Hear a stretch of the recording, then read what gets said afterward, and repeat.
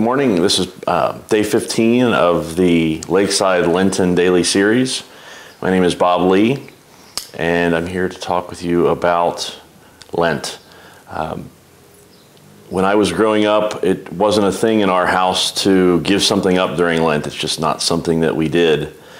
Um, a few years ago, in this very room, in a, in a Bible study, uh, Chris made a suggestion that rather than give something up, uh, we focus on the things that we enjoyed and God's grace and, uh, the, and His gifts and, and, allowing us to enjoy those things. So I, I grabbed hold of that, and it's become a part of the way that I've experienced and navigated my way through, through Lent.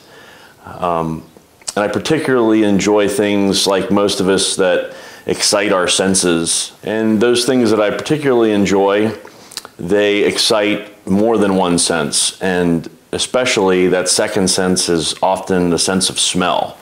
And it uh, becomes obvious to me that the, that the Holy Spirit's presence is uh, around me and surrounding me when uh, the sense of smell um, couples that other sense. Some examples would be like when I walk into a restaurant and I not only taste the delicious food, but the smells of the food and the wine are all around me, or when I'm looking at the ocean and the smell of the salt air um, truly makes it a great experience.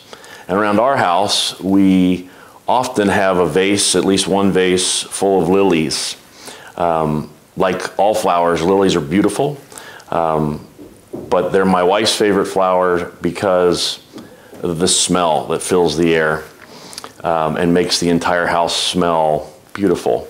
So during Lent, I have made it a point and a routine to thank God for these amazing things.